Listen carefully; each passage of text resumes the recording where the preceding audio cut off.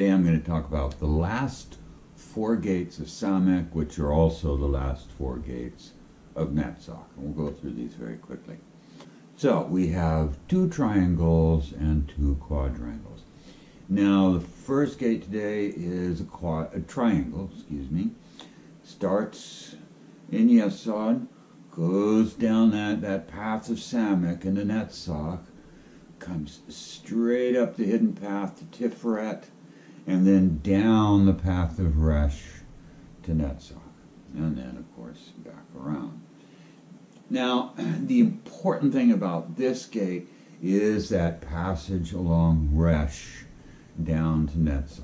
That, you know, integrates Resh um, in the uh, uh, dynamic of Samek.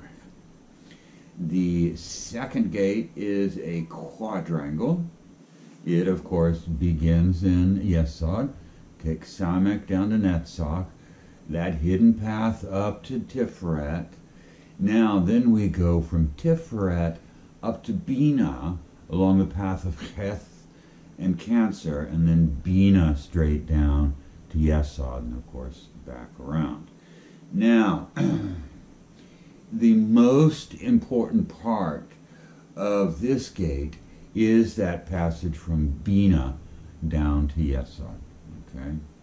Now, our third gate is again a triangle, and it goes from Yesod down to Netzach via the Samek, and then it takes that hidden path straight up to Bina, and then the hidden path from Bina down to Yesod. Okay? And the whole point here is bringing Bina, the influence of Bina, into the dynamic of Samek. Okay? And then our last gate is a quadrangle.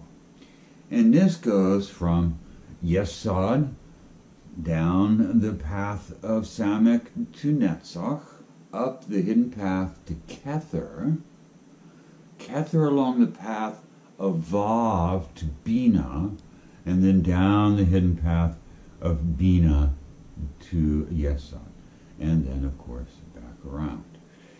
Now, again, the, the path of major importance here is from Bina into Yesod. Um, but also this, you know, it brings Kether into the mix. So that's also important, but not as important as the passage from Bina. Okay? So, that's the end of Netzach. Next time we will begin on HOD. Okay, till then, bye-bye.